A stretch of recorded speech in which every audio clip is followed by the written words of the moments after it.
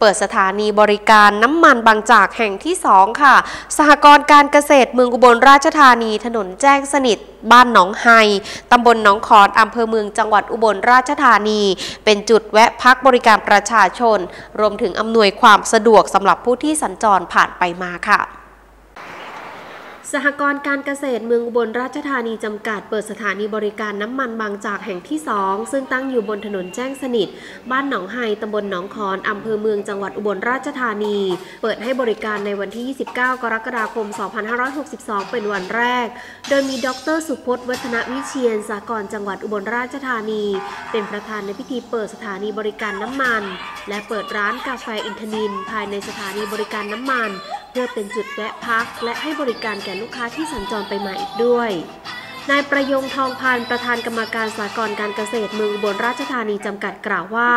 สถานีบริการน้ำมันบางจากแห่งที่ 2 สหกรณ์การเกษตรเมืองอุบลราชธานี เป็นปั๊มน้ำมันขนาดมาตรฐานตามแบบของบริษัทบางจากคอร์ปอเรชั่นจำกัดมหาชนจำนวน 5 ตู้ มี 20 หัวจ่าย ชนิดผลิตภัณฑ์ที่จำหน่าย ได้แก่น้ำมันดีเซล ชนิดไฮดีเซล B20 และน้ำมันเบนซินแก๊สโซฮอล์91 แก๊สโซฮอล์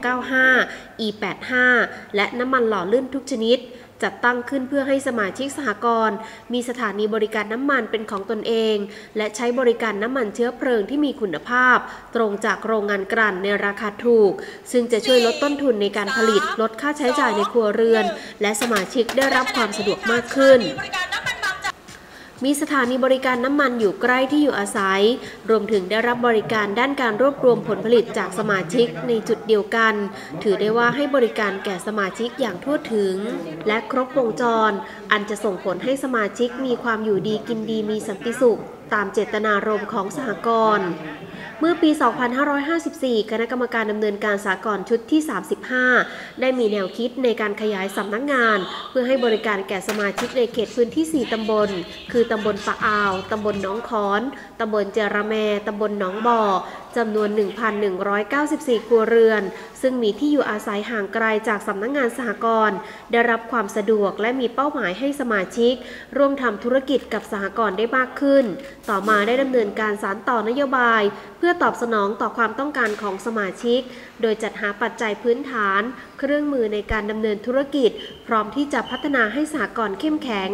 อันได้แก่ช้างขนาดบรรจุ 1,000 ตัน พร้อมโรงคลุมลานตากขนาด 3,000 ตารางเมตร และสถานีบริการน้ำมัน ร้านกาแฟอินทนินและอื่น ๆ